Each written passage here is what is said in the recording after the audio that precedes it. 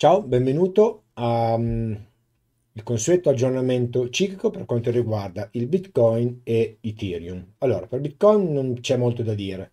Mercato completamente impallato in laterale, vado a levare i cicli da 10 giorni che non guarderemo più. E mercato completamente impallato in laterale, quindi non lavorabile chiaramente al momento.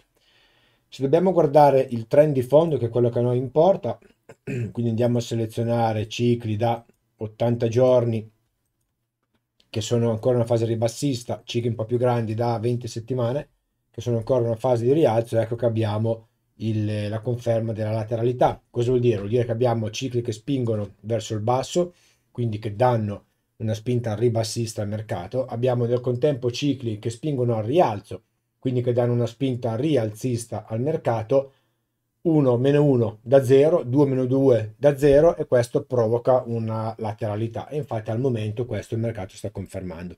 Cosa dovremo fare per i prossimi giorni? Un attimino, sigla del canale e saremo subito insieme.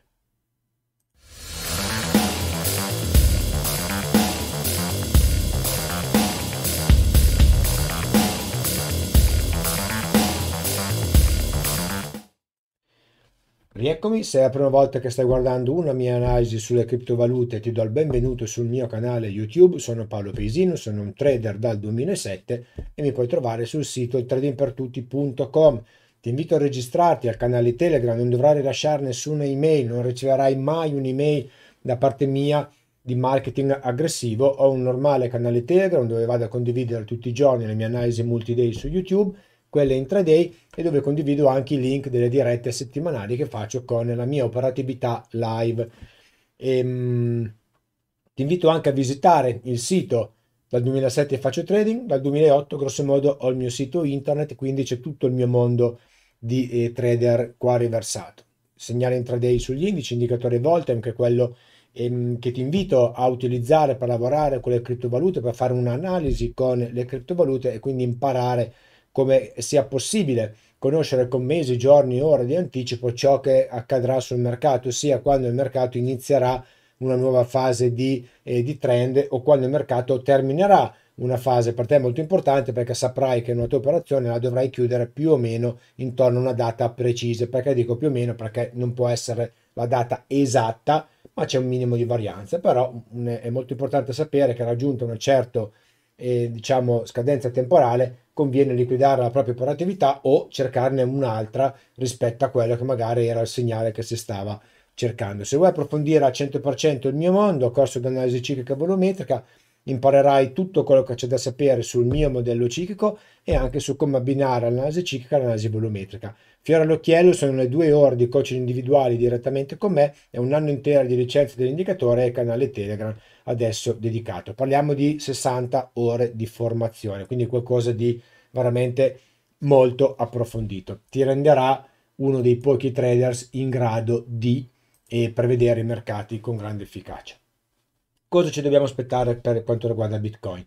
Abbiamo una, un bel massimo per quanto riguarda il ciclo da 40 giorni previsto per il 7 di agosto, ok? Che è questo ciclo qua.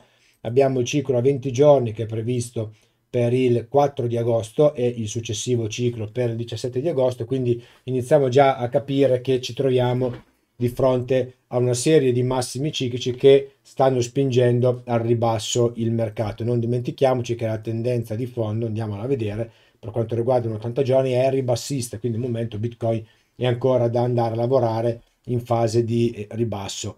Il possibile segnale long che era più o meno in quest'area per quanto riguarda l'analisi di settimana scorsa ovviamente ormai è invalidato perché il 7 di agosto è fra tre giorni e quindi non ci andiamo a posizionare al rialzo quando mancano tre giorni alle, al picco perché da un punto di vista temporale siamo troppo tirati e troppo tardi.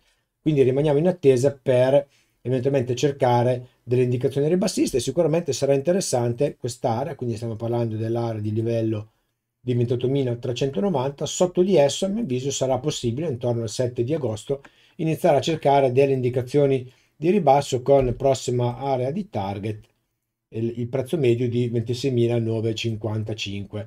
Ovviamente queste sono indicazioni di quello che su base statistica il mercato potrebbe fare, sarà poi a te decidere se entrare al mercato e che cosa fare con l'eventuale operazione. L'unica cosa che non mi piace di questa situazione è questo stocastico totalmente in ipervenduto, io lo preferirei 100.000 volte in ipercomprato per poter andare short, vero che non è indicatore di eh, ingresso al mercato il, lo stocastico, però è sempre meglio averlo dalla parte, tra virgolette, corretta, ossia opposto al movimento che noi vogliamo andare a prendere. Quindi anche qui un pelo di attenzione, a parte che siamo comunque in anticipo, iniziamo a cercare delle indicazioni intorno al 7 di agosto, andiamo a tracciare una trend line, trend line che ciclicamente non è ancora valida, questa invece assolutamente sì, trend line del ciclo a 40 giorni, questa la andiamo a levare, aveva generato lo short, trend line del ciclo 40 giorni già rotto, quindi ci sta confermando il picco del ciclo 80 giorni e anche la fase di ribasso, l'ha anche ritestata, quindi sì, secondo me la rottura